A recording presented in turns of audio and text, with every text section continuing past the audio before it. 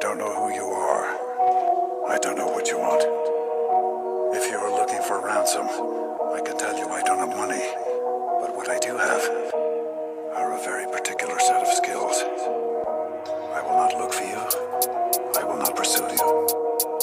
But if you don't, I will look for you. I will find you. And I will kill you.